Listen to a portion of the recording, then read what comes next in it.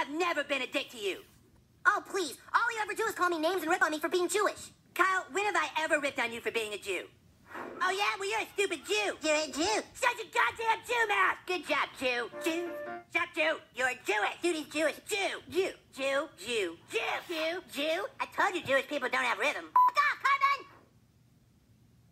Oh, okay, except maybe for that one time. God damn it. Purple crayon, you can't do this to me. Kyle's just being a Jewish pushover. I fucking hate that Jew.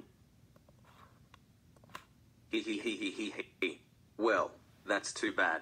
Because you deserve to be ripped apart by Max and Monty getting scared by the one-eyed truck for being racist towards Kyle Broflovski, getting Butters in trouble, etc. Now with my latest invention, I can finally do this for your own good, Cartman. Max, Monty, there's someone here who wants to see the both of you. It's the one-eyed truck, shouted Monty. They dumped their loads and raced away as fast as their wheels could carry them. He's after us, cried Max. It's the one-eyed truck, yelped Monty. There is no one-eyed truck, said Kelly. It's just a story, chuffed Alfie.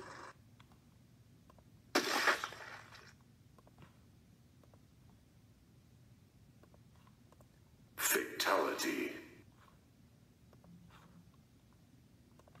I told them that fat ass got what was coming. And to prevent him from going anywhere, I tied him to a rope.